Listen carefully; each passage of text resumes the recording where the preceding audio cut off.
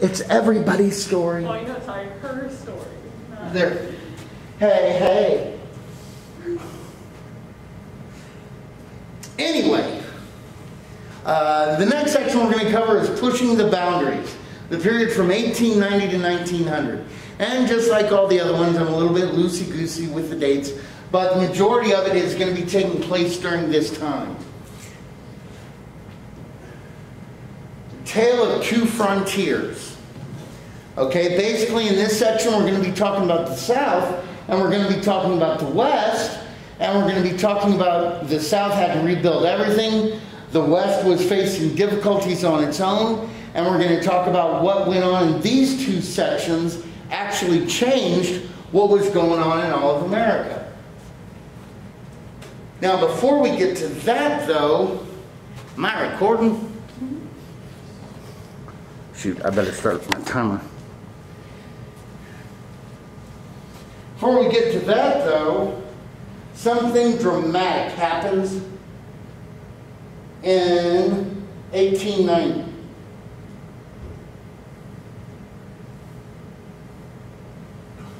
Basically, the U.S. Census Bureau announced that there is no more frontier in America. Now, a lot of people, re- I mean, that was something we had always had. And a lot of people responded with disbelief. Now, the guy who uh, is probably the most famous is Frederick Jackson Turner. He wrote an essay called The Significance of the Frontier in American History. And then he, even though he didn't write anything of real import after that, uh, this kind of encapsulated what a lot of people were feeling at that time. And that's why in history today, this is known as the Turner Thesis. And a lot of people disagree with it. Some people still kind of look at it. But it's definitely a document of what people were thinking then. You ready? The end of the frontier. Basically, in his thesis, he said that America's history had been made up of people leaving settled areas to go out to the frontier. That take place just on the cusp of settlement. It was where savagery met civilization. And America didn't have one like line frontier. Basically, it was over the hill. It was that area people didn't live, that we had always been spreading out to. So we kind of had a series of frontiers. And in that conflict of savagery and civilization, that's where democracy is born and made anew and refreshes itself.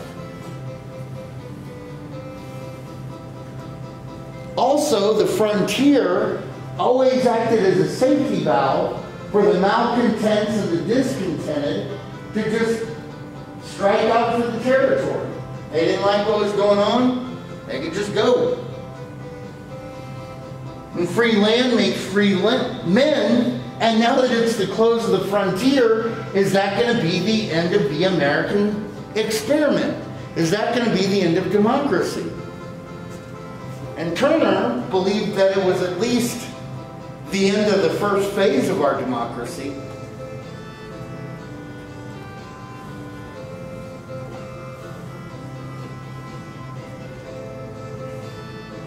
Y'all have it? Or do you just like listening to the chicks?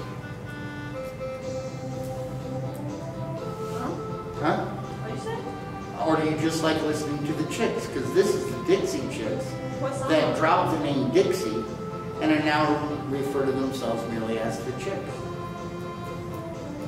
What I song don't is know. Huh? What song is this? Uh, Earl's gotta die. Um, Cause Earl's gonna die. All right, the New South.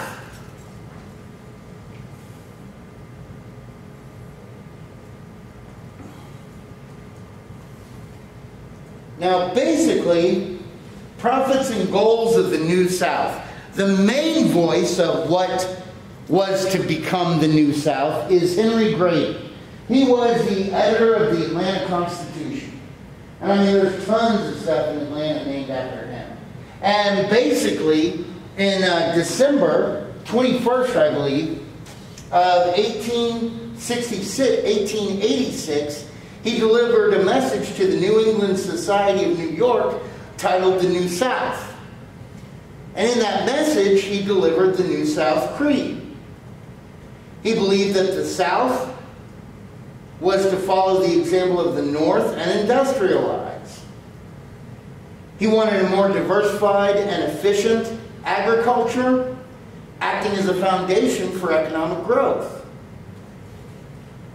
Joined together with education, especially vocational or having to do with the trades, material success would follow, and sectional peace and racial harmony would provide an environment for economic growth. So basically, he believed that blacks were to be equal partners in the New South.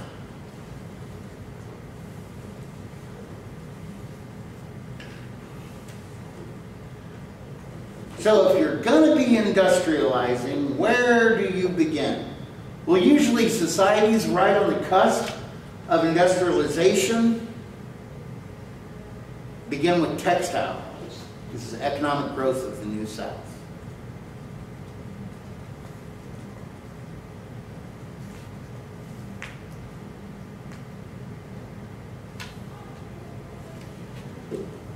And the expansion of the area's textile production that began in the 1880s acted as the advance guard of the Industrial Revolution. From 1880 to 1900, cotton mills in the South grew from only 161 to more than 400. Mill workers increased five times. Cotton consumption increased eight times from 182,000 to 1,479,000. Indeed, by the 1920s, more textiles are being produced in the South than in New England.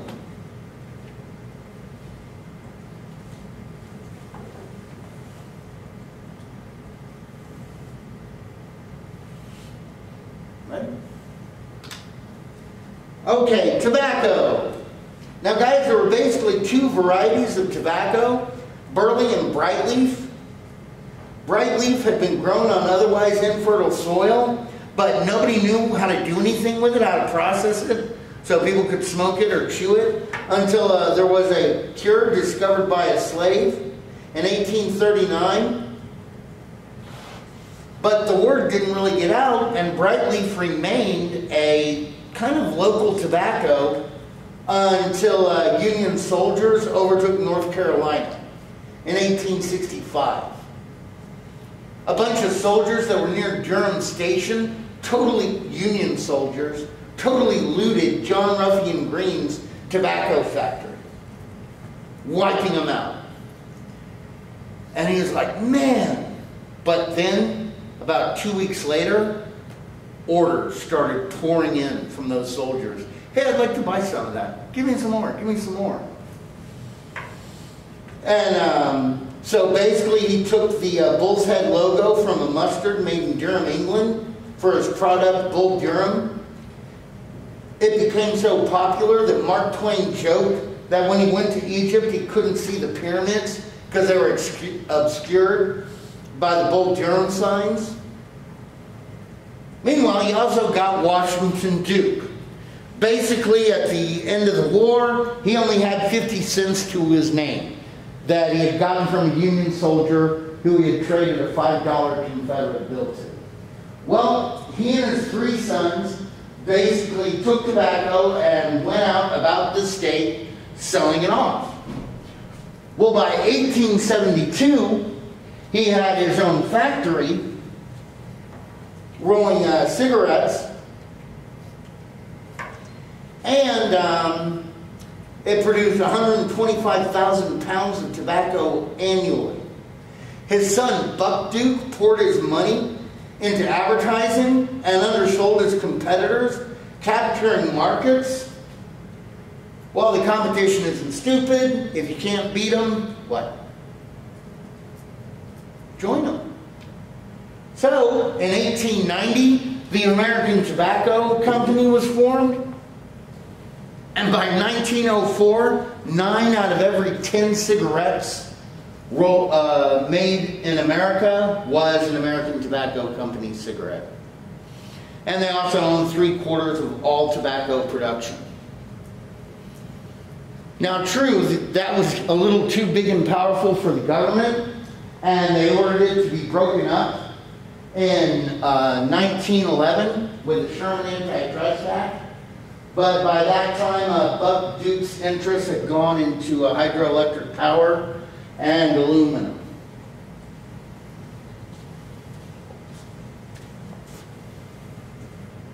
Ready for the next one?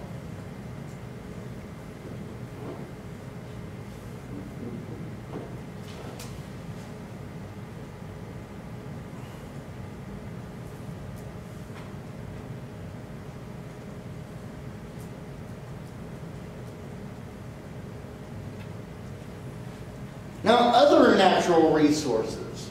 Coal mining grew from 5 million tons in 1875 to 49 million tons by 1900. Indeed, Birmingham, Alabama was called the Pittsburgh of the South due to its proximity to iron, coal, and limestone. Well, if you have all these factories being built up, you're also going to need houses to be built up to house the workers. So all of a sudden, demand goes through the roof for lumber. And as the forests near the Great Lakes were kind of exhausted by this time, it was a fantastic deal, especially for Texas. Um, because Texas has more forest land in it today than there is land in Indiana and Illinois combined. Okay, indeed, today lumber is still our third most valuable export.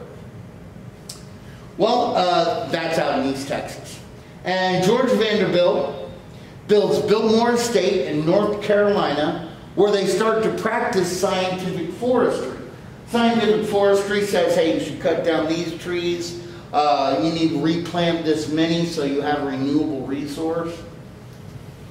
And if you're interested in uh, studying scientific forestry here in Texas, Stephen F. Austin and the Fighting Lumberjacks is a school of renown. We ready?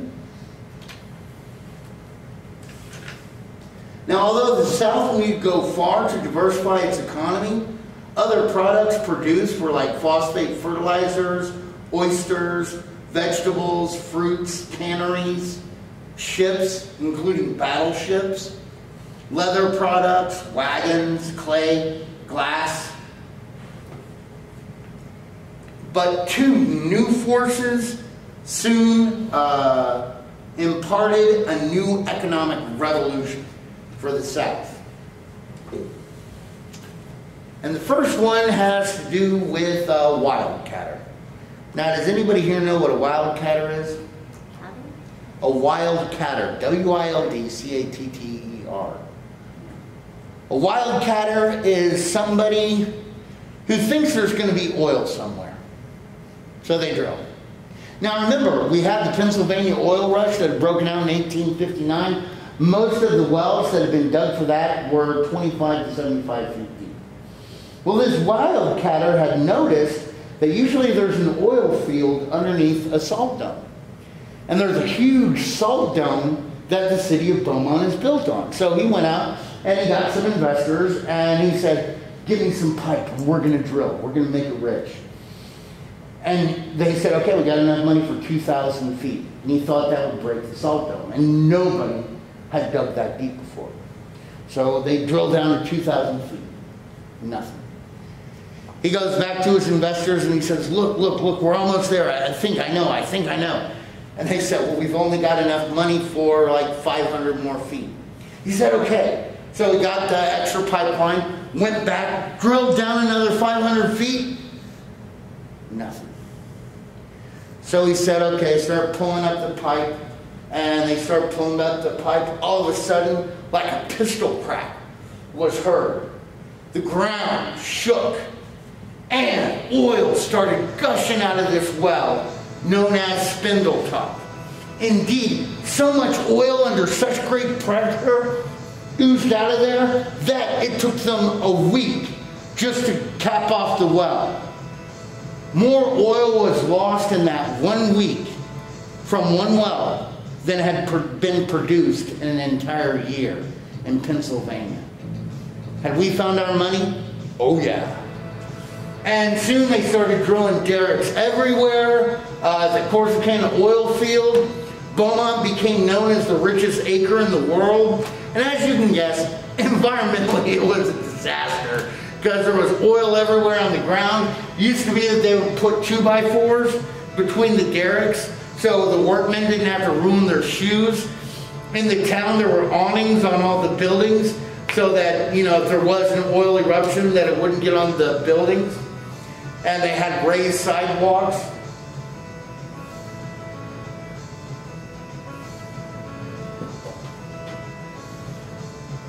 Who doesn't Ready for the next one? The next is hydroelectric power. Power plants have begun to dot the South. In 1888, Richmond, Virginia has the nation's first electric streetcar system. Columbia, South Carolina opens the first electric powered cotton mill in 1894. And by 1905, Buck Duke wants to electrify the entire river valleys in the Carolinas, basically using the currents of rivers to turn the turbines to generate electricity.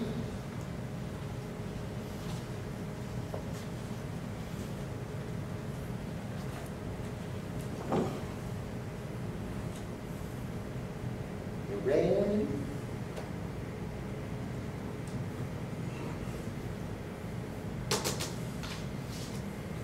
Okay, the less favored. Well, guys, after the Civil War, we had the problem where you had a lot of people that had land, but no one to farm it. Meanwhile, you had a lot of people that knew how to farm, but had no land. Well, what did they do to try to solve this situation? Well, they began the sharecropping system, where basically the farmer would rent the owner's land, and to pay back the rent, he'd have to give him a share of the crop.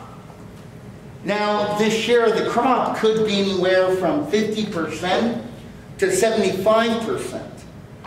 And of course, if they didn't have items like a bag of cottonseed, if you had the money for cottonseed, it would have cost you a dime. However, if you didn't have the money, the owner would buy you a bag and hey, you'll just pay me back on credit, so long. By the time the harvest got through, that bag of cottonseed, which would cost 10 cents, now the farmer would have to pay back 16.5 cents. Okay? Um, oh, and by the way, guys, don't think that every sharecropper was black. My great grandfather in Missouri, uh, he started out as a sharecropper. Later, he, he was able to escape that and became a medical doctor. My great great grandfather. Uh, of course, they would also tell the people what crop they could grow. And usually it was king cotton because that was a crop they always knew was in demand. Only problem is, as more people are growing it, what's going to happen to the price of cotton? Yeah, it's going to go down. Um, and uh, so they found themselves in debt. Also, politically, they couldn't really elect new people to help them out because back then, we didn't vote. Today, we vote Australian ballot style, where nobody can see who you voted for. Back then, everybody could look and see exactly who you were marking down. And the guy who owned the land would usually tell you, hey, vote for these guys. And if you didn't vote for those guys, you found yourself kicked off the land, and news would usually be spread, and people wouldn't want to lease their land to you. Ready to go to the next one?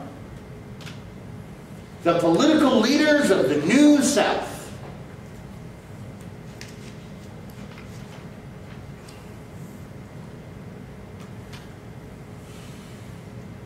Now, after Reconstruction, local Southern politics was usually led by small groups of influential men.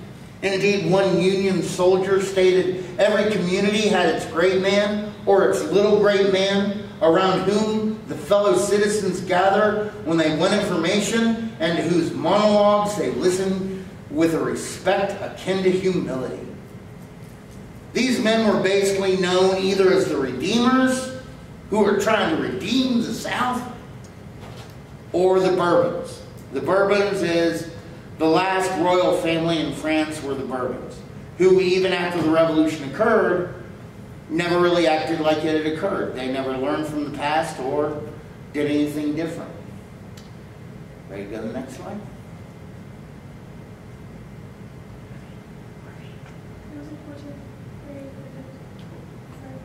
This isn't important.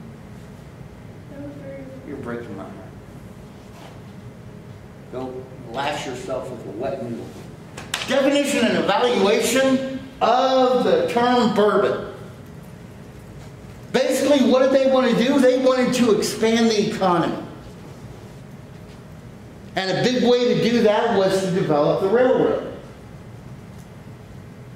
along with industry. Now, like I said, they called themselves the Bourbons, but pretty much with the retreat of the Union, with the return of home rule after the end of Reconstruction, basically it's the Democrats. And their ideology was we want to make money. They allied themselves with Eastern capitalists.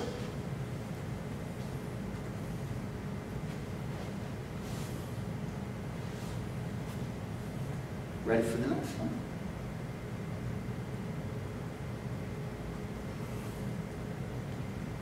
And by the way, if you do have to respond to something like that, just has to go to the restroom. I idea what's going on. Make sure you get what you missed in class. Ready? Darcy Scoops. All right. Effects of bourbon entrenchment. They wanted the government to be laissez-faire, which means it doesn't get involved, except when it came to like tax exemptions and other favors offered to business. Now, the problem is, if you're not making money there, then you can't pay for all the social services, so you're going to have to do some cutbacks in that area. And the biggest cutbacks were in education. Where in 1871, $10.27 was spent per student.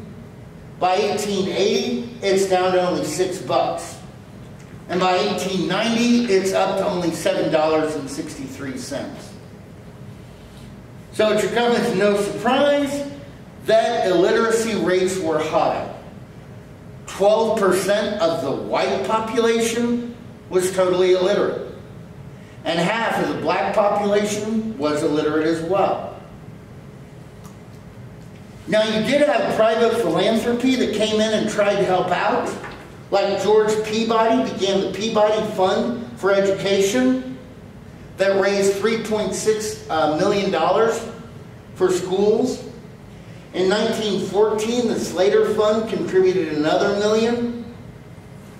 And you had like J.L.M. Curry that pursued an extensive program of speaking and building support for education with like Teachers Association, summer schools for teachers, etc. Now, guys, do uh, the on Saturday there's going to be an auction for uh, to help raise funds for uh, Plano ISD. I don't know where the auction's going to be, but they might have some. I think it's going to be a virtual auction, but someone in the class knows about it. Anyway, and other place like Highland Park when they wanted to build a new football stadium, but they got the same problem as you guys, uh, Robin Hood.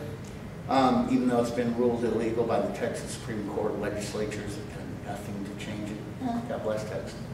Uh, they wanted, but they didn't have the money. So one of their former alumni, uh, the guy who owns Haggar Pants and everything, he just donated the money to build a new uh, football stadium. And some school districts have even talked about selling advertising inside their school buses to try to raise money. So that's something that's still going on. All right. Well, we also had a problem with convict leasing. To reduce costs, basically in the South, a lot of places would rent out convict labor. They were used to build railroads, mines, lumber and turpentine camps. Most of these leased convicts were black, and they would, whites would justify this leasing by claiming that only the regime of coercion could elevate it from its idle and shiftless ways. Only one southern state did blacks not constitute a majority of the prison or leased convict population. And can anybody guess that state? Make me shout out a yeehaw. Yeehaw! Now guys, why is convict leasing bad?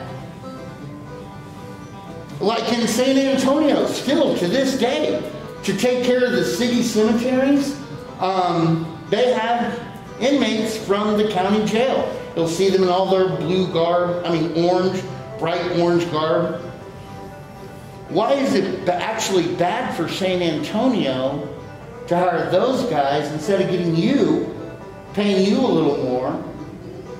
Why am I actually cutting myself kind of at the knees by using prison labor? Yeah, there's less wealth being spent. You know, I hire her, she's got to hire a crew, you've got to hire a mechanic, you've got to use a gas station to fill up your equipment, you've got to make sure your truck is maintained, the trailer, everything. And you're paying the people who go and buy food and pay light bill, everything like that. In uh, a convict system, it's all circular. And there's not really wealth being gained. Now, in the repudiation of state debts, that means paying back uh, the debt that you have as a state. Well, all the southern states were Confederate states. That's Confederate war debt. Uh, to deal with this, excuse me, uh, nine states repudiated more than half of their debt. Virginia, however, so wanted to pay off their uh, state debt, but it cost all the other services so greatly that they had what was known as a rebellion by the readjuster party that went in, threw out everybody of the old government, repudiated the debt, then let everybody of the old government come back in and run everything just like they used to. Ready for the next slide?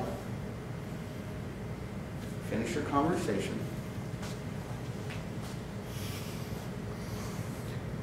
You gotta tell your friends. Here we go.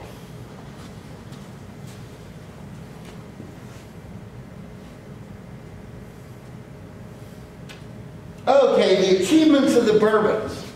A lot of things that were good actually happened under them. For example, they did set up commissions to regulate the rates that railroads could charge for commercial transport. They established boards of agriculture and public health. Also, they set up agricultural experimental stations, A&M colleges, began teacher training schools, colleges for women, as well as for African Americans.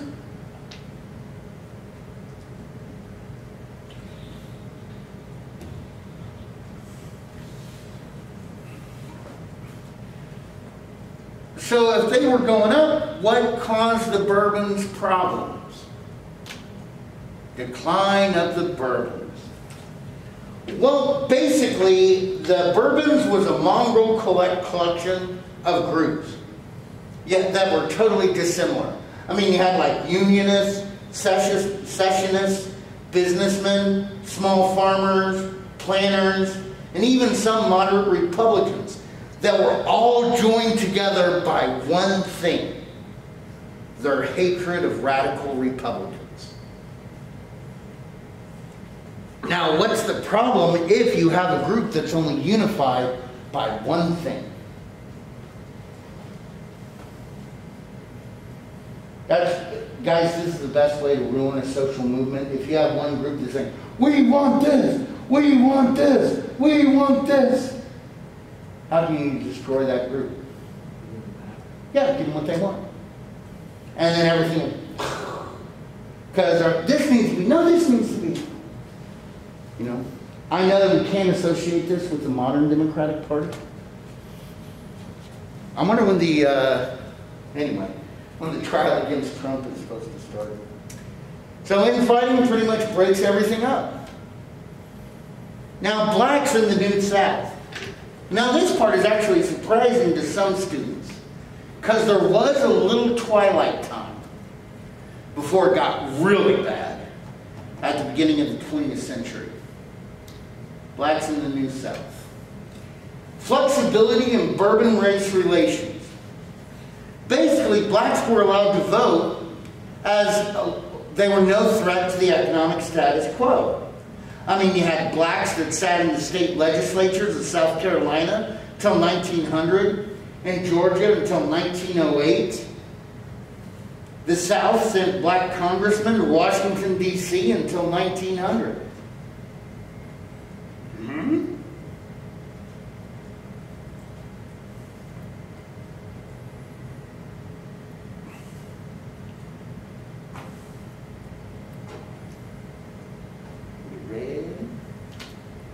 Now, of course, this was accomplished through special gerrymandered districts.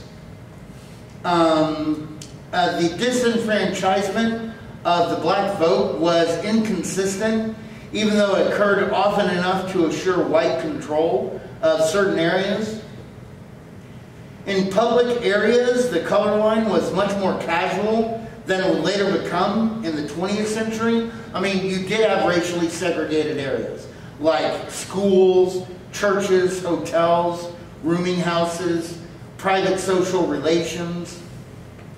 But public places like train depots, um, theaters, and soda fountains were integrated.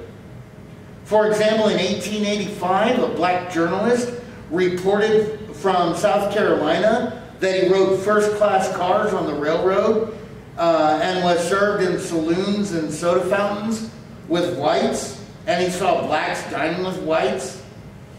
And later on, he even saw a black police officer arrest a white man in the streets of Columbia. Now, guys, this would be a totally different story 15 years later. Well, how did we go from there to there? Well, the first thing is they start taking away and limiting the, the uh, blacks' ability to vote. Now, of course, they tried to cut, the real racists tried to cover this up by saying that the blacks were retrogressive uh, towards being animals, especially those blacks that had never known slavery. Well, that was just a racist thing.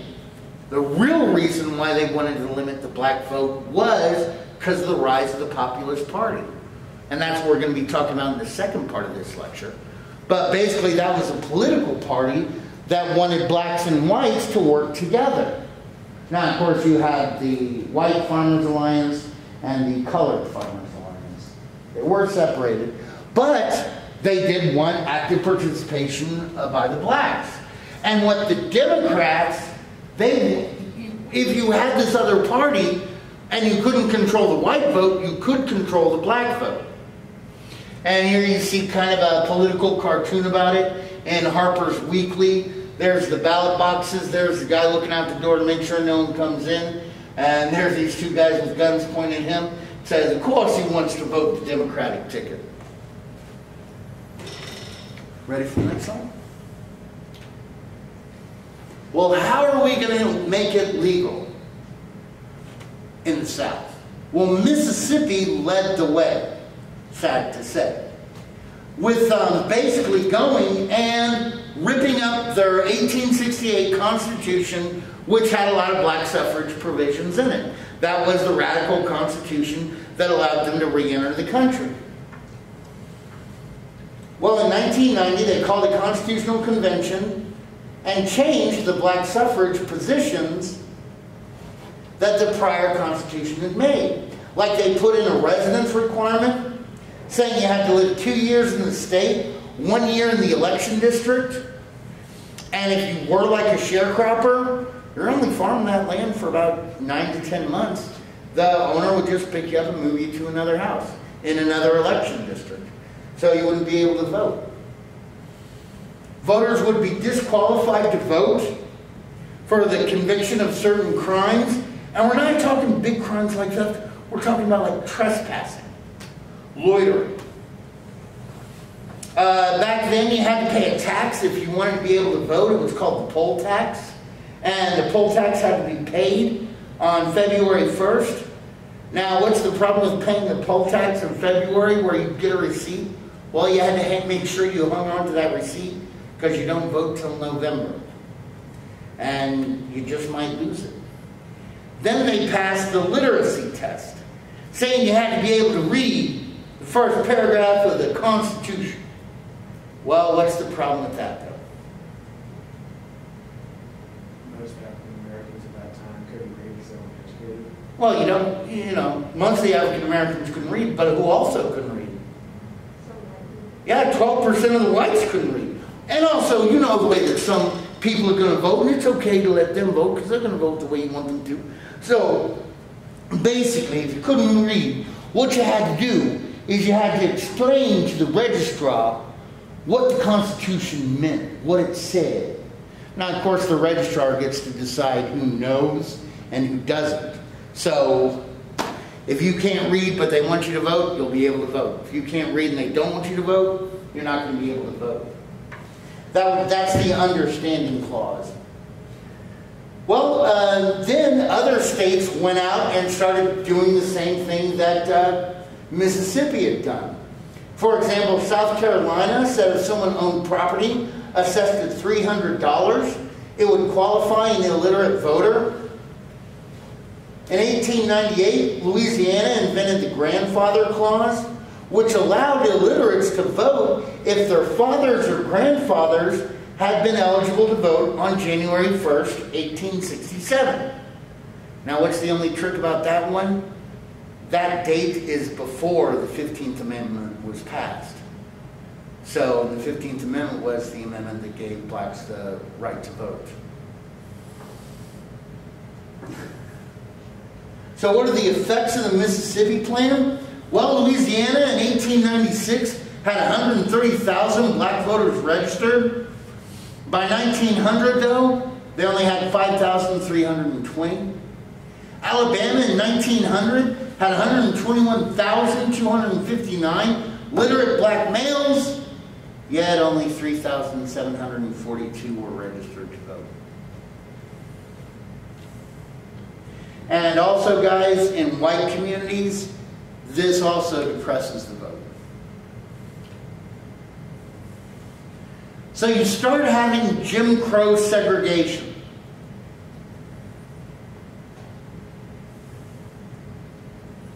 And in 1883, the Supreme Court ruled on several civil rights cases that appeared before it. And the Supreme Court ruled that the force of federal law could not extend to individual action because the 14th Amendment provided that no state could deny citizens the equal protection under the law, but not individuals. So in 1881, Tennessee required railroads to maintain separate first class cars for blacks and whites, which is the whole beginnings of separate but equal. Uh, and guys is separate, ever equal. Y'all know that y'all have segregated places right here on your campuses, both Health and Plano East. What's the segregated area? Bathrooms. Yeah, bathrooms. And they're separate and they're equal, but they're not equal. You're not going to find urinals in the woman's bathroom. You're going to find more toilets. You also might find a dispensary that you're not going to find in a male bathroom.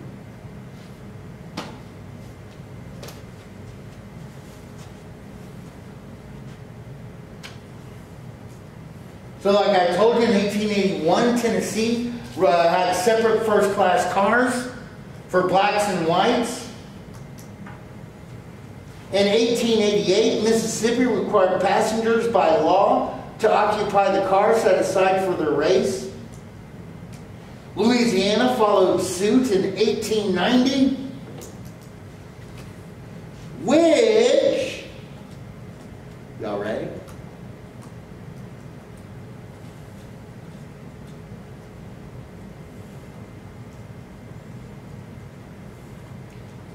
Introduces us to Homer Plessy and the case of Plessy v. Ferguson. Now, guys, this uh, this uh, cartoon or image here, that's supposed to be Homer Plessy. Guys, that's totally wrong. Why do we know this? Because Homer Plessy was an octoroon. What the heck is an octoroon? Great question. An octoroon is somebody who is one eighth black, one eighth or less black. Well, you know, Homer Plessy had such a fair complexion most people thought he was white. The only reason why people knew he wasn't white is because he had lived in the same neighborhood so long and everybody knew he's black. Well, um, he wanted to test this case, so he went somewhere. Now, the, the conductor of the train knew who he was Ferguson. And uh, Ple- uh, Plessy had gone further down the line walked into the ticket counter and said, Yeah, I'd like to buy a, a train ticket. So they said, Oh, okay. And they gave it to him and they gave him a white ticket. Their ticket for the white car. He looked white. So he went in he got in sat down in the white car. Who should come in but the conductor who knows that he's black? And they said, You need to get out of this car. And he's saying, What do you mean? I got my ticket right here. I got a ticket for the white car. And so they got in a scuffle, went outside. Uh, Ferguson ordered him arrested. He uh, basically petitioned the case up all the way to the Supreme Court, and the Supreme Court upheld his arrest. All except one man, um, John Marshall Harlan. He was the dissenter who predicted that this decision would stimulate aggressions more or less brutal upon the admitted rights of Southern, of uh, colored citizens. Now, meanwhile, now that the South feels like they've got Supreme Court backing, uh, they pass even more Jim Crow legislation. So segregation extended into almost every area. You had streetcars, hotels, restaurants, hospitals, recreation, sports, employment. What was the justification? Well, as one Southern editor said, God Almighty drew the color line and it cannot be obliterated. The Negro must stay on his side of the line, and the white man must stay on his side. And the sooner both races recognize this fact and accept it, the better it will be for both. Well, what are we going to do about those that don't follow social norms? Well, that's the answer lynching. From 1890 to 1899,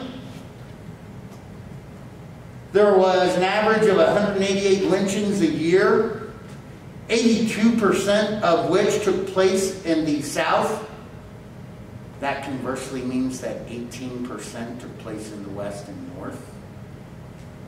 Also, in that first period, um, 32% of the victims of lynchings were white, like that guy right there. Um,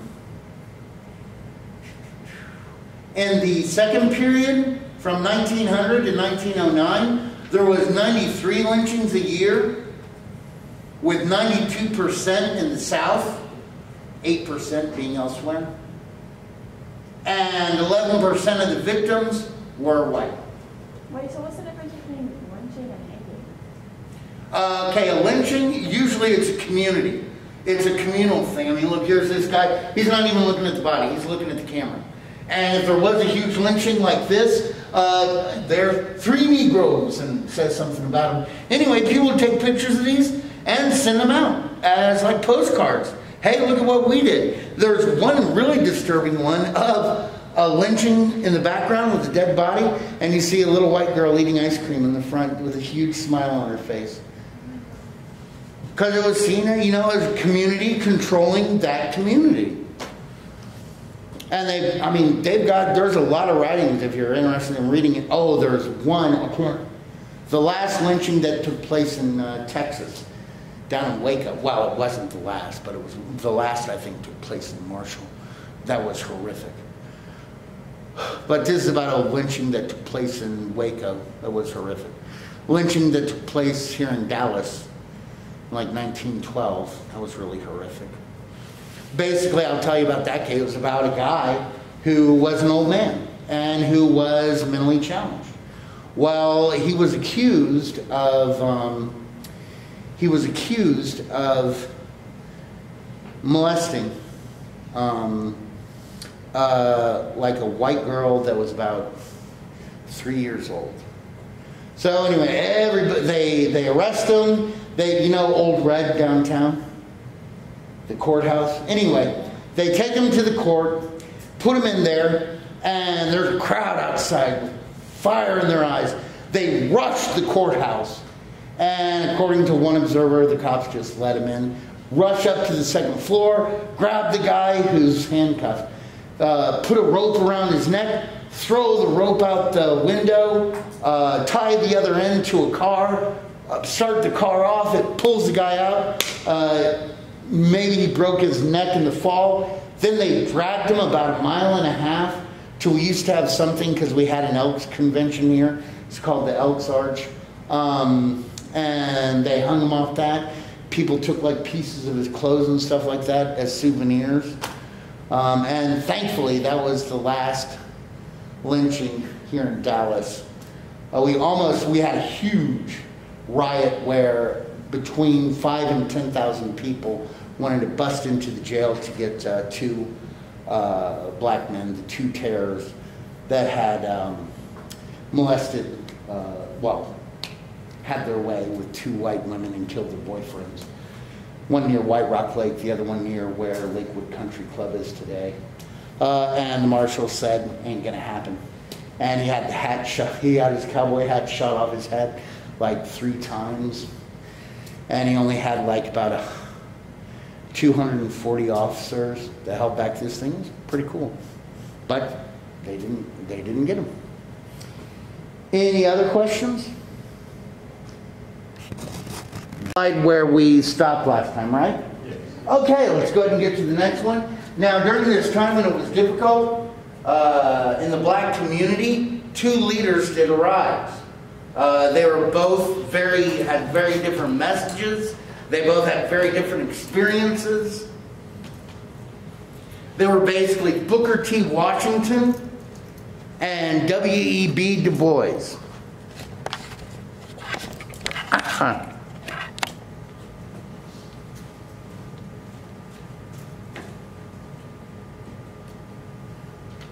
Now, Booker T. Washington was born to a slave mother and a white father in Virginia in 1865. And basically, his abilities and drive took him far past the limitations that others tried to place on him. He fought to get an education at Hampton Institute, uh, which he graduated at 16. He believed in work, study, hygiene, morality, self-discipline, and self-reliance in large amounts. And after graduation, he opened a college for blacks called Tuskegee Institute. Had to go around speaking at white groups to try to raise funds for it. Where in order to assuage and make the whites feel good about giving money, he would assure them that the South was like a glove. And blacks and whites were like fingers in that glove, in that they're all part of the same thing, but they're separate. And at that institute, one of the professors was George Washington Carver. Does anybody here know what one of George Washington Carver's inventions was? Y'all probably use it at least once a week, if not more. What? Peanut butter. No. Basically, well, in the South, they grew a lot of peanuts that are pretty much wasteless. They call them goober peas because the those legumes replenish the soil nutrients that uh, cotton took out. And he basically wanted to find a way that they could make money out of it. So he had like 86 patents filed for his inventions with uh, the peanut, uh, one of which included like ladies' cosmetics. Basically, he called upon blacks to cast down their buckets where they were, cast it down in making friends of all people, of all the races by whom we are surrounded. Cast it down in agriculture, in mechanics, in commerce, in domestic service, and in the professions. He wrote his autobiography called Up from Slavery and was actually made America's first advisor on race. Uh, that was underneath Teddy Roosevelt. He wanted to lift everybody up. He was known as the great accommodator.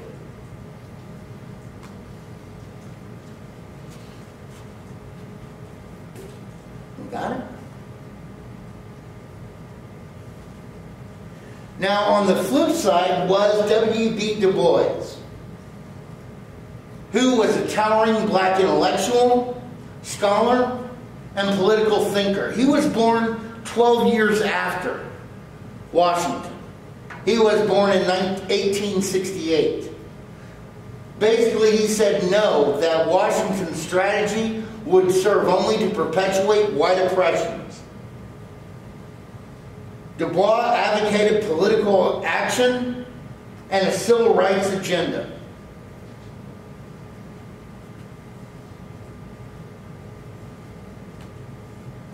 He helped found the NAACP, or the National Association for the Advancement of Colored Persons. For social change, he felt like that could be accomplished by developing the small group of college educated blacks that he called the talented tenth. Indeed, he said the Negro race, like all races, is going to be saved by its exceptional men. The problem of education, then, among Negroes must first of all deal with the talented tenth. It is the problem of developing the best of this race that they may guide the mass away from the contamination and death of the worst. Basically, he believed that Booker T. Washington, who tried to get bring both sides together, was a leader in white eyes only. Well, now we get to the farmers. Agrarian revolt.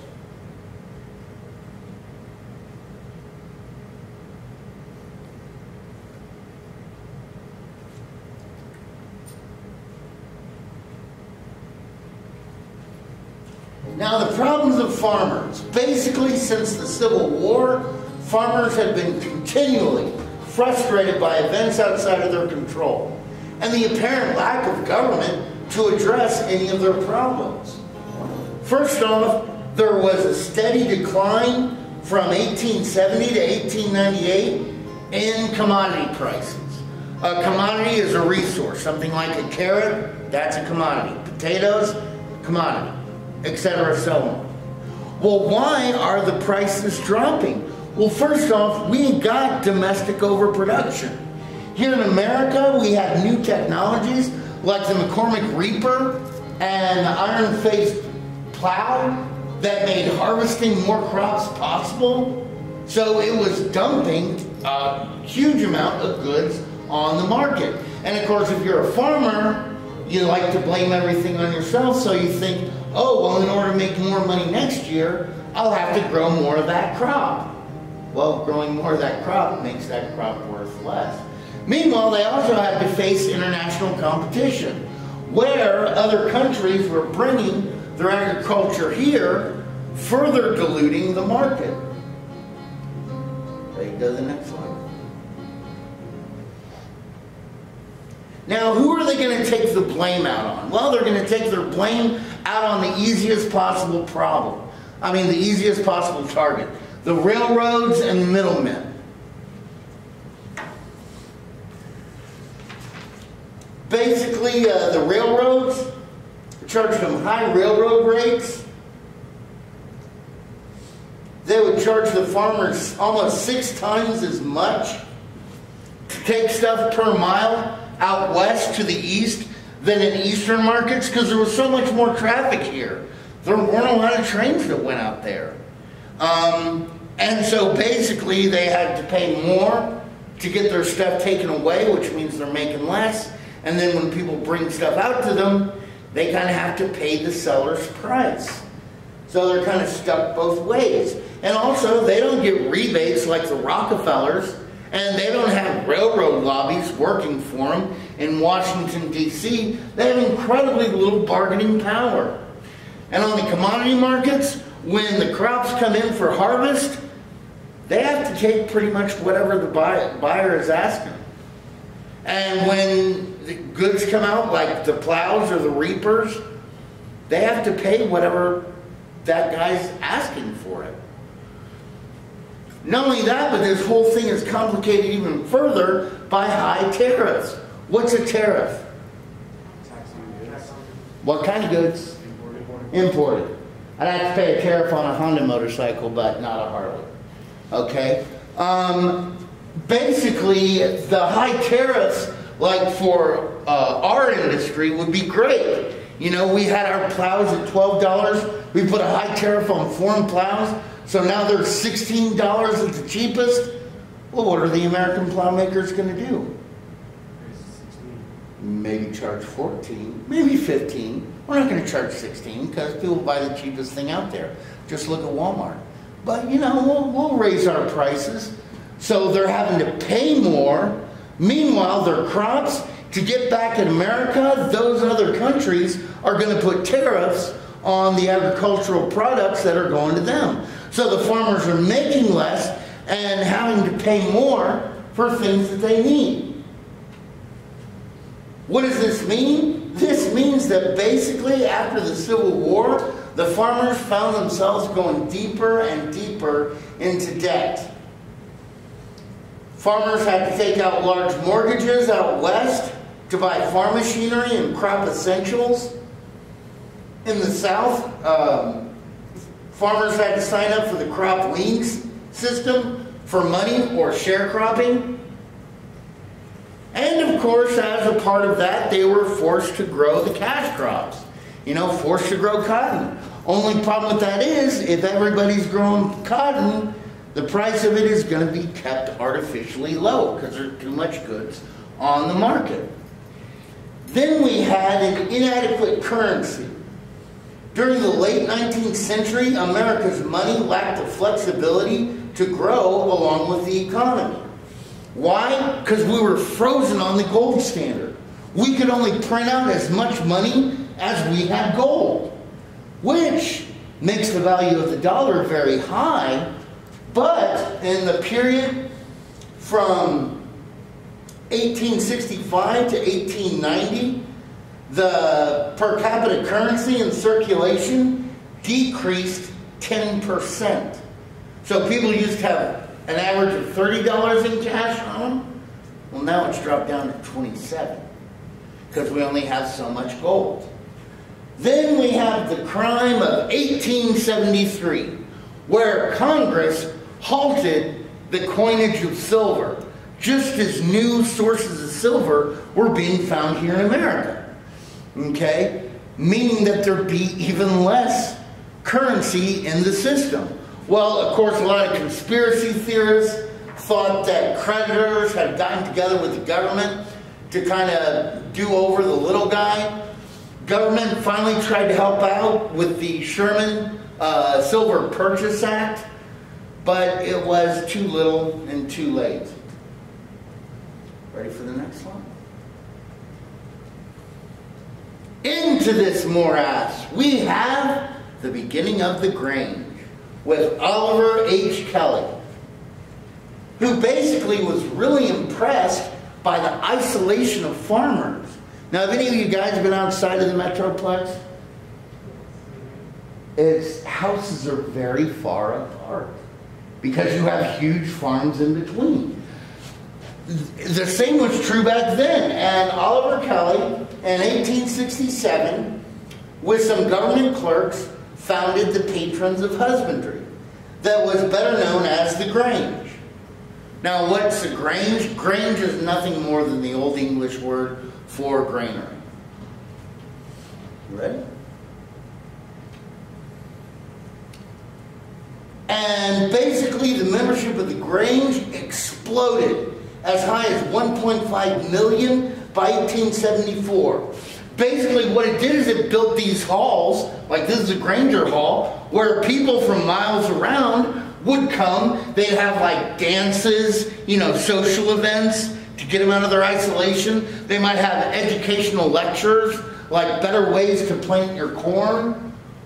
But if you have a lot of people that have a lot of common problems going on in their lives, you get them together, they start talking about that. The first thing they wanted to do is start farmer owned cooperatives. A cooperative is where everybody owns everything that the cooperative has. For example, I like a grain silo. Y'all know what a grain silo is? You know, those big cylindrical things out in the countryside that people put either wheat or corn or whatever to store their crops. Well, I don't have the money for a whole silo, but I got five bucks. You got five, five bucks. You get add, charge everybody five bucks. Boom, you got a silo. Now, I can't keep. We divide up by how many members we have the volume of the silo. So I can put in X amount of my grain, X amount of bushels of grain. I can't put in all my crops, but I can store some of them. Now, how would that help me out? When everybody's selling their grain, what's the price of grain? Low. Way low. If you can hold off a few months and then sell, what's the price of the grain going to be? It's going to be a little bit higher. We're going to stick it to the man. And then, of course, they started saying, hey, well, why don't we get into politics? And the Grange was a third party. What were their goals? They basically wanted uh, regulation, government regulation of the railroad rates and how much warehouses could charge. In five states, their political clout got so big that Granger laws were able to be passed. I mean, even though in reality they were pretty much ineffective, uh, they did lay the foundation for stronger laws regulating railroads and warehouse rates.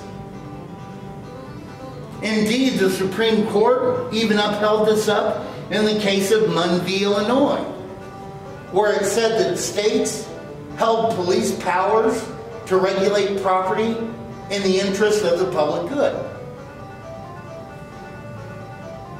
So everything seems like it's going great, and then it isn't. Basically, um, many of the cooperatives that were attempted failed. Okay, now why do you think the farmers couldn't run a business? What does a, what does a farmer do? Farms. Okay? And guys, let's say that all of a sudden you decide to go into business, you don't want to be in medicine anymore, and so you go to UT Austin, you get a degree in business, you then get your MBA from SMU, you go out and open your own business, chances are 50 50 you won't make a year, even with all that education. Guys, business is a tricky beast. Well, so they start going down. As they're going down, coordinated with that, you have the rise of the Greenback Party, which basically wanted the printing of more greenbacks. What's a greenback? A dollar bill.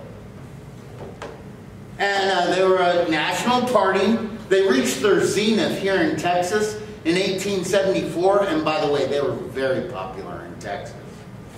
But by the 1878 nationally, they were able to get more than a million votes and get 15 congressmen elected. But just a few years later, the party starts to decline, and by 1884, the party is dissolved. You ready? Well, then we got the Farmers Alliance, which actually got started right here in Texas, in Langtree, Langtree, Texas, where a bunch of guys got together to discuss, hey, what are we going to do about the cattle rustling that's going on? um, Just like the Grange, it offered social and recreational opportunities, but it soon turned into political action. It grew fastest in the South and Midwest, where tenancy rates were the highest. Pretty much they saw the collective action or the group action uh, the Alliance offered as a way to receive relief from their chronic indebtedness, the declining prices, devastating droughts. Well, what's so different about the Alliance? Well, the Alliance, unlike the Grangers, was much more grassroots and local. Indeed, in 1886, Richard Manning Humphrey, a Baptist minister in Houston County, Texas, started the Colored Alliance for black farmers, making this the first large national black party. By 1890, the alliance is up to 1.5 million members, and the Colored Alliance had more than a million.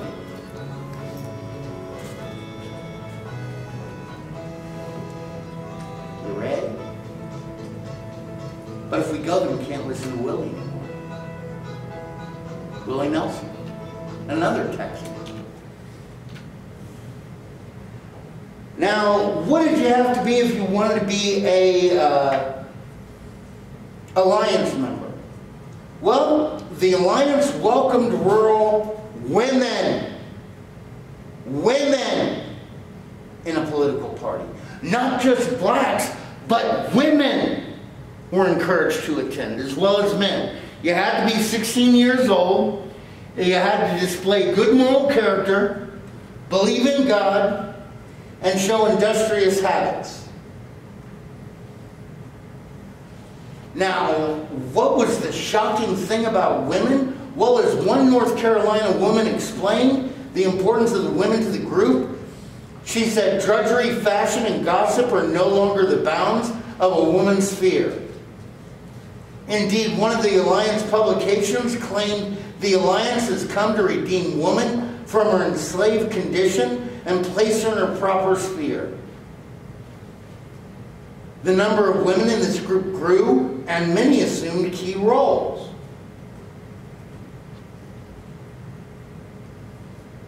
Ready? Now, what was the economic program of the alliance?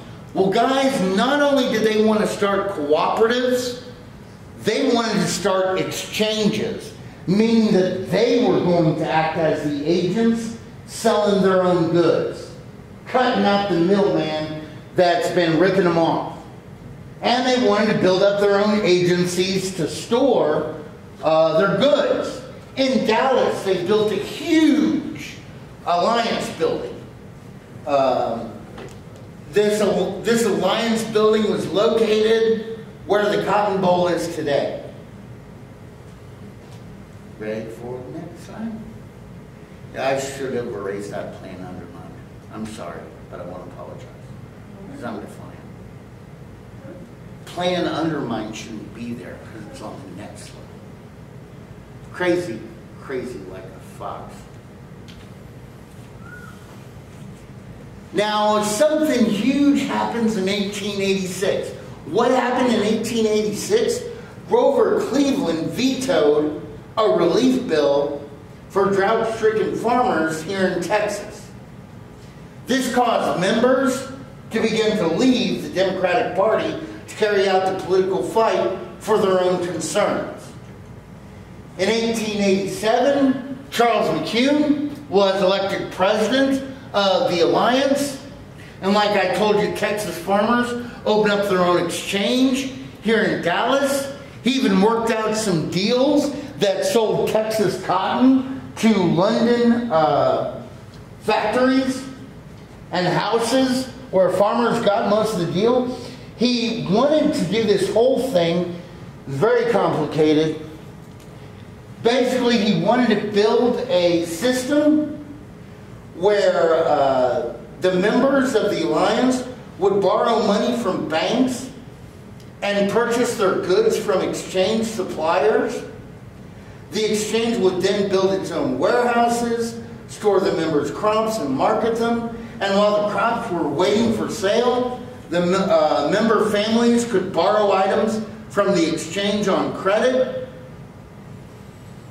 So it seemed like a great deal. Only problem is, the bank totally refuses. I mean, the alliance even printed their own money.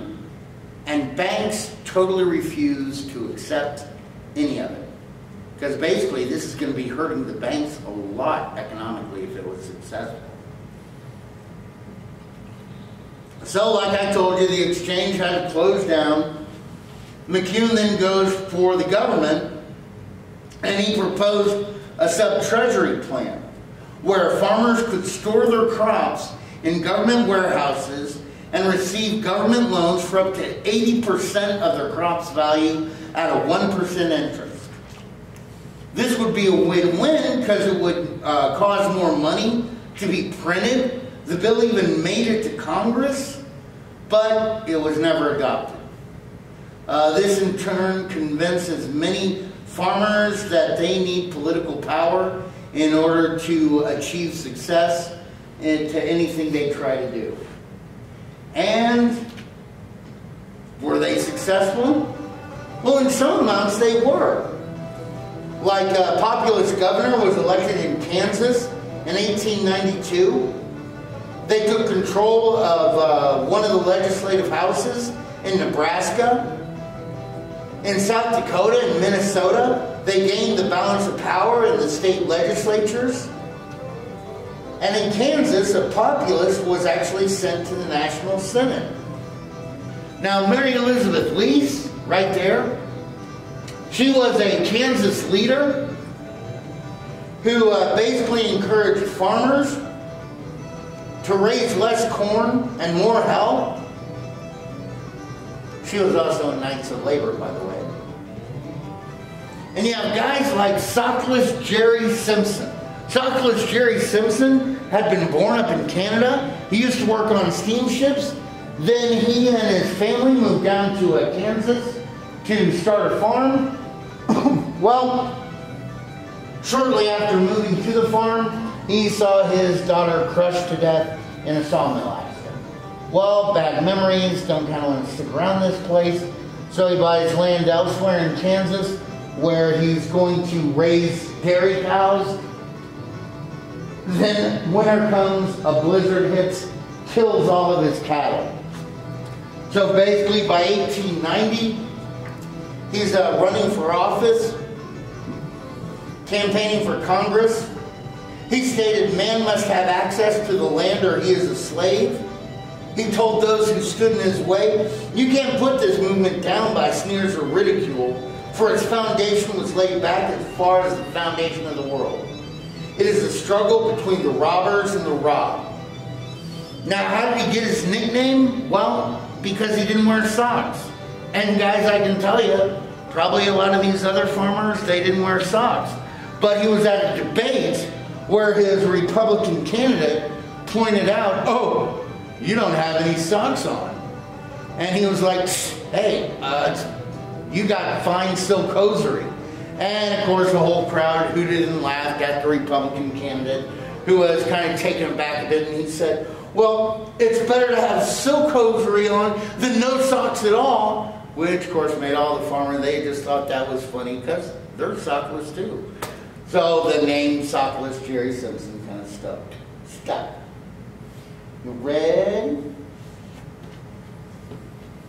Well, then we get to the South. In the South, it's a little tougher for an independent party to come along. Remember, there was still so much pain in the South by the Civil War, by their defeat.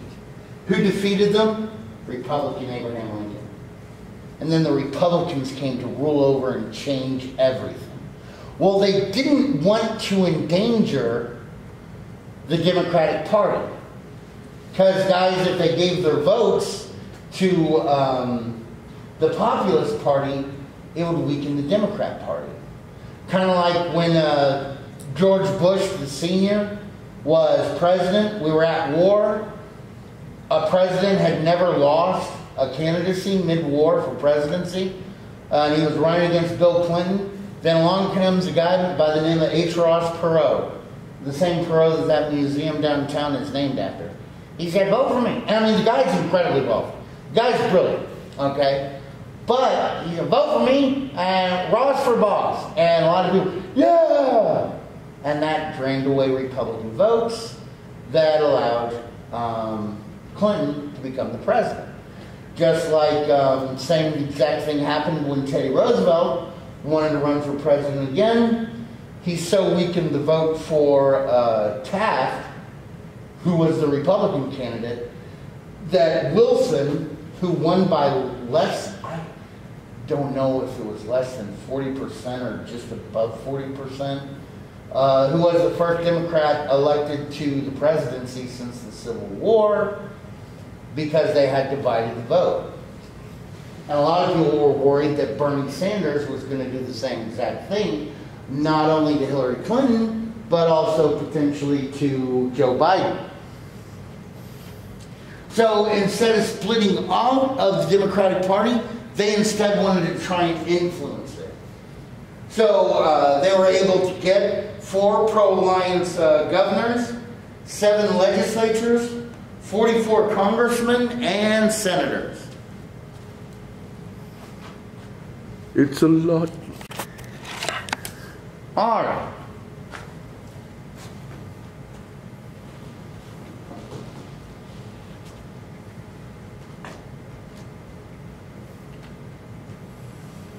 Then we got Tom Watson. Now, Tom Watson is a guy who a lot of historians love to hate on this guy because they like focusing on late Tom Watson instead of early Tom Watson. Uh, Tom Watson was from Georgia.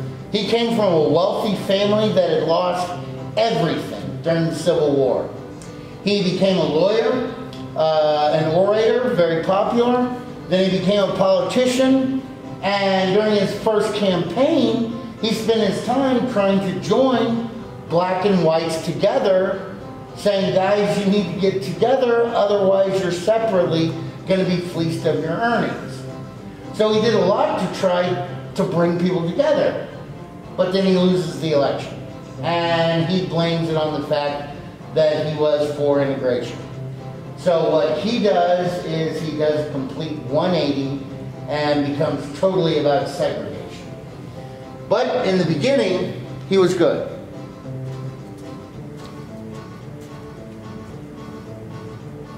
Ready for the next one? Redrawing the boundaries.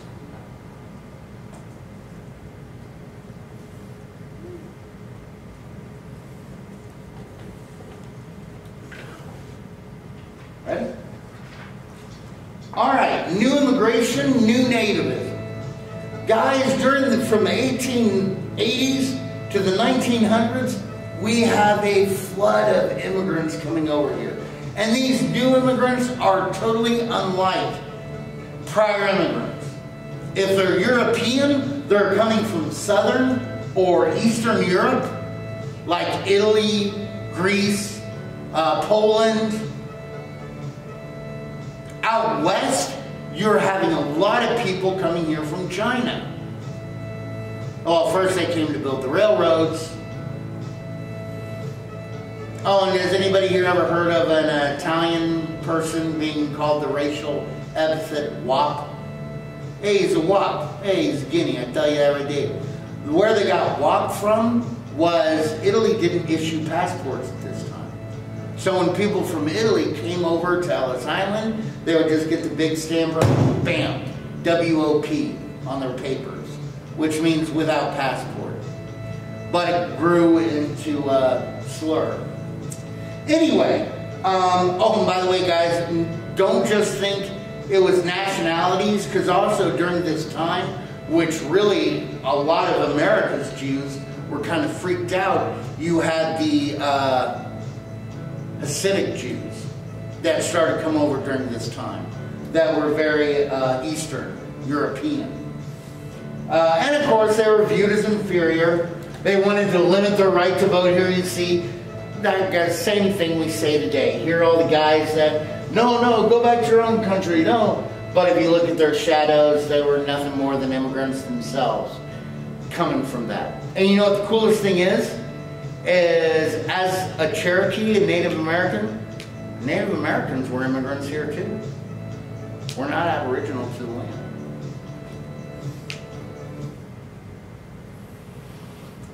Well, what's going on with the Asians, Chinese especially? Well, at first they you try to limit them. So the Page Act is passed that tries to limit, that not tries, that did limit the amounts of uh, Chinese people who could come over here to the U.S. Then, gosh darn it, they still, oh, the reason why the Chinese were coming over here, especially the men, is because in China, if you wanted to marry someone, you had to show the father of that girl that you had enough money to buy your own piece of land. Well, you couldn't make enough money to buy your own land if you stayed in China, but you could come over here to America, get a job, and be able to return and buy the land. But once they were here, a lot of people said, yeah, I kind of like it. Uh, California passed the Chinese Exclusion Act in 1882, which said no more Chinese at all. Uh, some of the Chinese people started to argue, hey, you can't do this to us. Uh, we want citizenship, to which people pointed out uh, the 14th Amendment gives citizenships to whites and blacks, but not Asians. So they were excluded from citizenship. A fact uh, made sure by the case of Fong Yue Ting, where the Supreme Court ruled, yeah, you can be citizen. Because of this uh, and the limitations against other ethnic groups, anybody here been to like New York City? That has more Jews in Queens than live in Tel Aviv in Israel? You have all these little ethnic enclaves, like Little Jerusalem, Little Warsaw, Little Italy, Chinatown, everything like that. Are, do y'all think those things are good or bad for America? Because I tell you what, they're starting to fragment and dissipate. Huh? Really? Yeah. They're not as big as they once were. Now, are those kind of barrios good or bad? No, actually, sociologists say it's good because they say this is what sociologists say. They say it takes three generations once you're here to become fully assimilated. The job of the first generation, the ones that come over here, is to survive. You know, they got to learn the language, got to learn the way we do things, got to learn our etiquette system, and these enclaves are a place of refuge for them. Other people speak their language, they celebrate their holidays, they eat the same food, wear the same clothes, go to the same kind of church. It's a good refuge. So that's the job of the first generation. The second generation, their duty is to forget. Hey, you're Polish, aren't you? Oh, no, no, I'm not Polish. No, I was born here. I was born here. How about your parents? No, no, no. I'm born here. They may speak Polish to their parents because they heard their parents speaking it, but they don't speak it down to their kids. Okay? Because they don't want any confusion. We're American. So to, to um, survive, to forget, and it's the goal of the third generation when acculturation is complete, is to remember, hey, you, you're Polish, aren't you?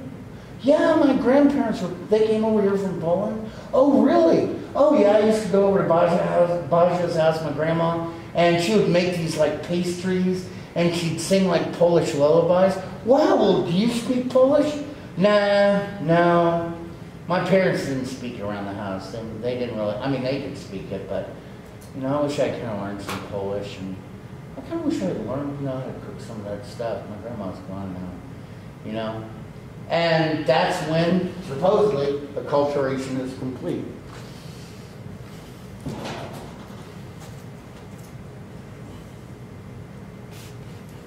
Oh, you know it, it's not a Galloway lecture if we don't talk about unions. The rise of the American Federation of Labor, or the AFL. Now, guys, before we had the AFL, uh, you had kind of industrial unions that were dead set against the craft unions. What's an industrial union? It's a factory job. It's I'm the guy who's mass making the shoes. Okay? What's the uh, craft union? That's unspecialized labor. I hand make shoes. Okay? Well, the AFL is the first one that tries to join these two together, saying you get more through cooperation than competition. Uh, it's made official in Philadelphia in 1886, but it was first discussed at Columbus, Ohio in 1881. And what was the American Federation of Labor? Well, basically, it was a federation. You had the AFL kind of as the big body that all of these other unions were off of. You know, steelmakers, hair womb weavers, comb makers, cobblers, factory. You know, you that had all of these specialized unions underneath it. And they gave the specialized unions a lot of autonomy, which allowed them to react and respond to conditions on the ground where they were, which made them more successful. Ready for the next one? Who was the guy who led them? It was Samuel Gompers, a guy who wasn't even born in America. He was from London. What was his job? He was in. He was kind of like in the elites of uh, the craft jobs. Excuse me. He was a cigar maker, and basically, cigar makers they were they would hire young boys to read the latest in European writings to them while they rolled their cigars. And what was his trick? He went after concrete economic gains. Not this social revolutionary stuff, trying to make it a total. No, he was very realistic, pragmatic. Uh, he brought business to unionism, meaning you run a union like you run a business. You had to pay dues if you wanted to be a union member. And by the way, guys, if you got a union job, you, they take the dues out of your paycheck. Now, wait a minute. So you're paying dues? Well, what are you paying dues for? Guys, I'll tell you this. If you uh, lose your job in a union, they'll find you a new one as quick as possible. Um, also, the dues were there because if you ever went on strike, an old trick that the business owners used to play is they'd let you go on strike and strike as long as you wanted to. Because guess what? The strikers have kids they got to feed. They got money that they need. And basically they'd hold out and wait till the strikers came back cap in hand. So sorry, sir. Please, can I have my job back? I've, I've got a child to feed. Well, if you pay your dues, the AFL would pay you up to 75% of your wages if you went on strike. So the corporations couldn't wait you out any longer.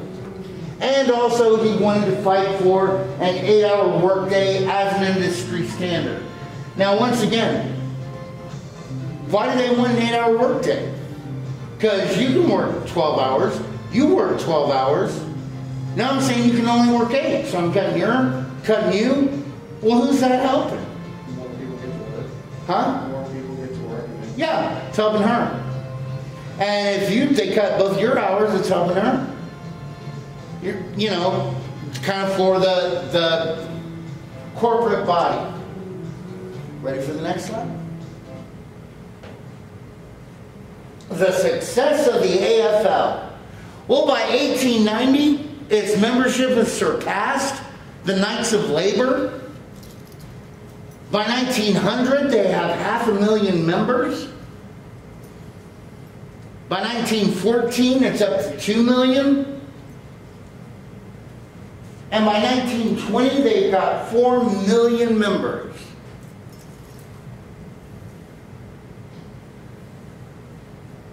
And their numbers grew quite up for a long time after that. But then beginning with the 1970s, they began to fall. Now, has anybody ever seen this statue? It's a very ugly statue. Right here in Texas. Huh? No, that's that's Samuel Gompers. It's you know, have you been to the Riverwalk in San Antonio? Okay, right near what I say is the end of the Riverwalk, even though now they've extended it even further. But it's right next to some of the malls and next to some of the restaurants. Is that statue of Samuel Gompers? Why do we have a statue of Samuel Gompers here in Texas? Because basically he died trying to bring unions to Texas. And the AFL put that there. So the next time you're at the Riverwalk and you see a strikingly uh, uncharming statue, it's know that it's uh, Samuel Gompers.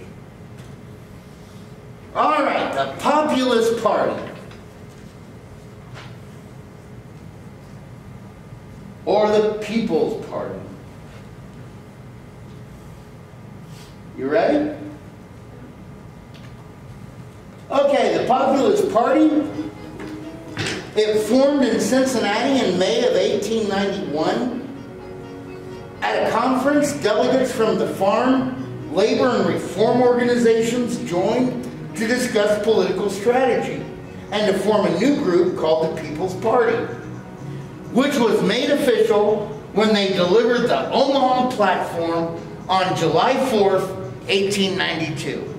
Oh, on that July 4th, that was done on purpose.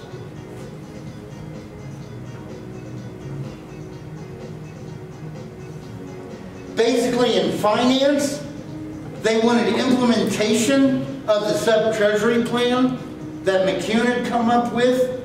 They wanted an unlimited coinage of silver. They wanted a graduated income tax. Now, wait a minute, what's a graduated income tax? By the way, that's what we've got now. But what is a graduated income tax? The more you make, the more you have to pay.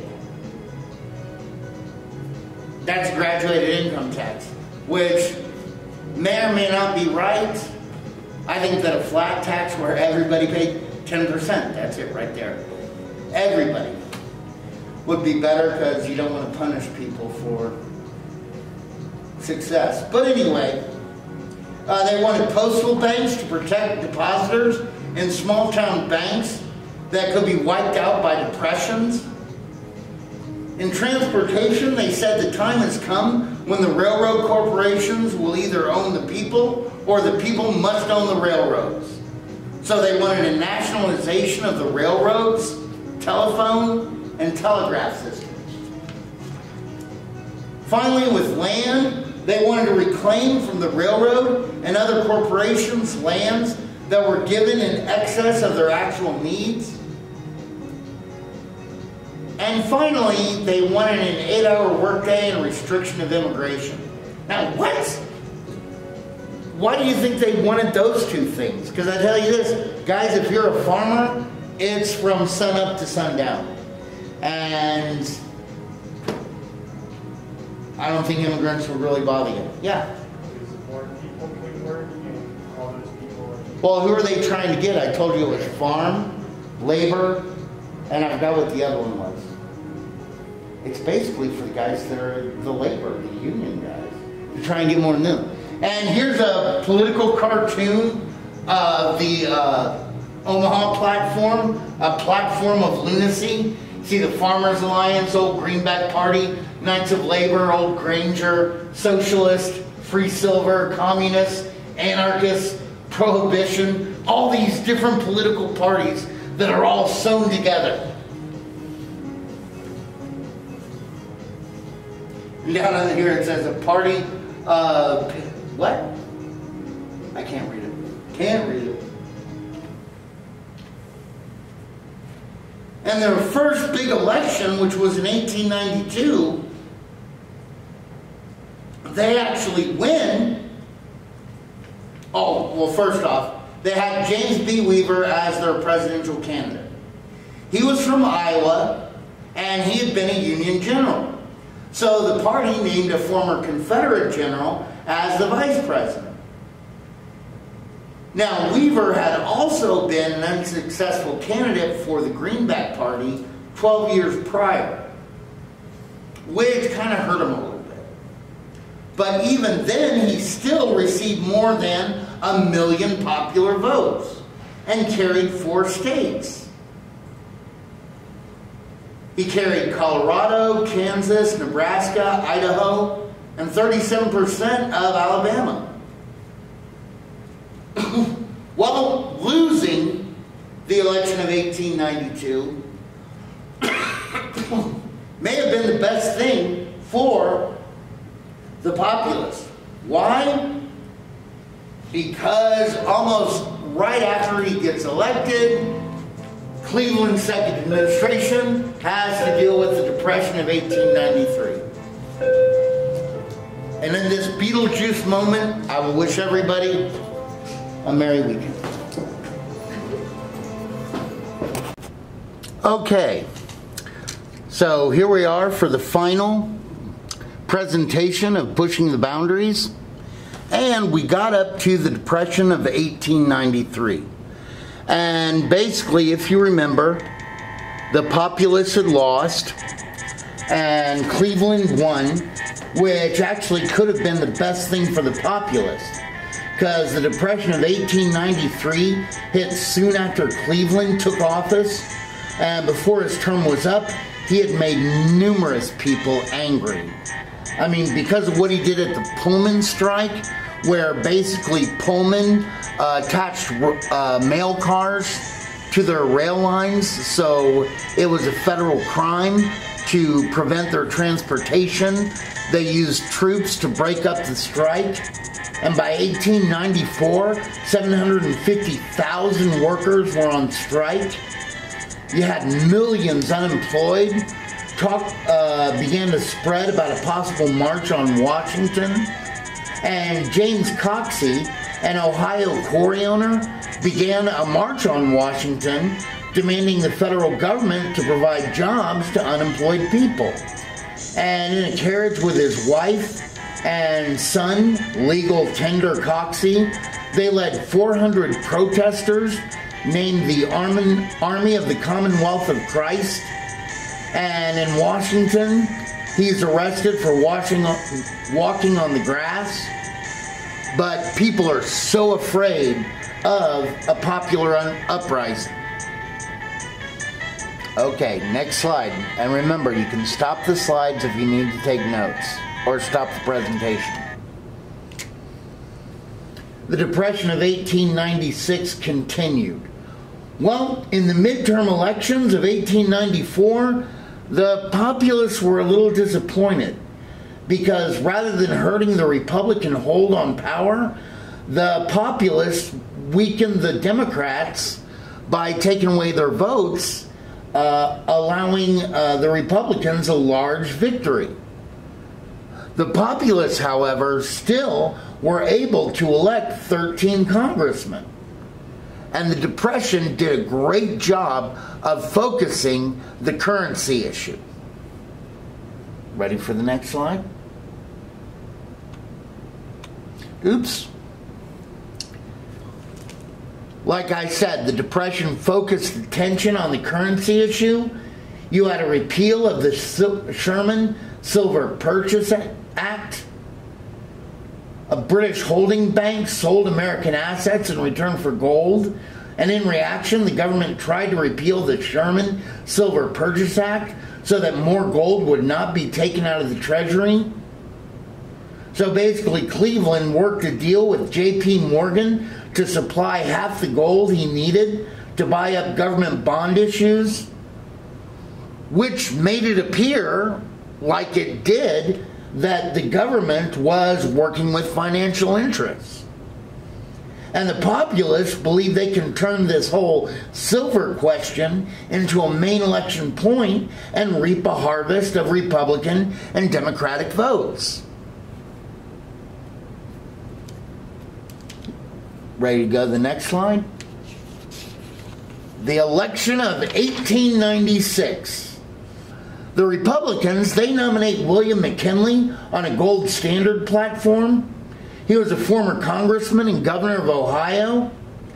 The Democrats, meanwhile, they nominate pro silver William Jennings Bryan and his cross of gold speech. Basically, he was a son of a judge, big time Baptist moralist, two term congressman from Nebraska.